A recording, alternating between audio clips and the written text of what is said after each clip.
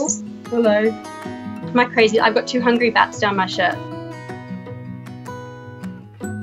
I suffered pretty severely from anxiety and panic attacks. I felt like I was not able to function at all. I wasn't able to leave the house and I was hospitalised twice.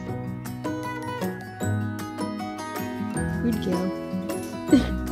I joined a volunteer rescue organisation. The bats gave me something to focus on that wasn't myself and it gave me a reason to want to get better.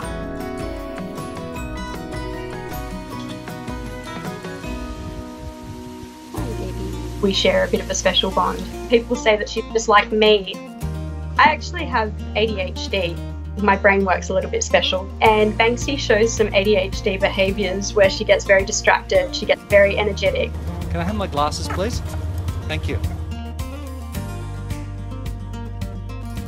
Hey, it's a little girl. The bond between a mother bat and a baby bat is incredibly strong.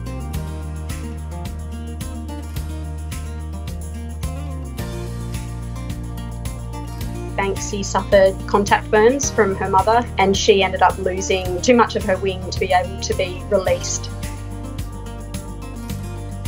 She has not forgotten who I am. She knows me, she knows my voice, and she doesn't act like she does with anybody else than she does with me.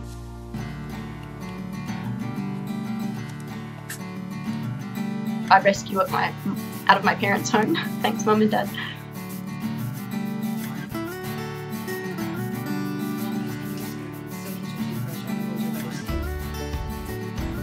The maximum number of animals that I've had in my house was 90.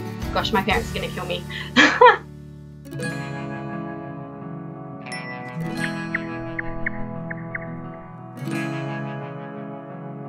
I'd gone my entire life not knowing anything about these animals. I had no idea that they were a threatened species, and I had no idea that they were critically vital to the environment. That was quite profound because, you know, I was thinking, I wonder how many people wouldn't stop and think about a bat other than it's going to bite me and it's going to suck my blood. That's what, what did it for me, and it's just been one long road. I was in a pretty low place, and I just am grateful because I don't think I would have gotten out of that. I haven't really said that before, but they've done so much for me, and I want to do the best for them that I can possibly do. They deserve it, they need it. Are you done?